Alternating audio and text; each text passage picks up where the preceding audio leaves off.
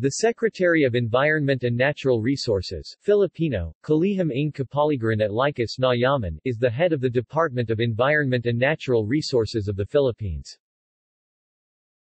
The post is currently headed by Ret. Gen. Roy Cimatu who currently holds the position as secretary after Gina Lopez was rejected by the Commission on Appointments on May 3, 2017.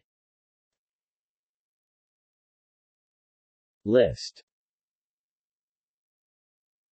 Asterisk acting capacity.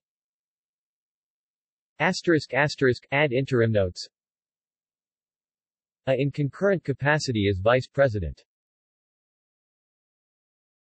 References. External links. DENR, History. History of the Department of Agriculture. DA Then and Now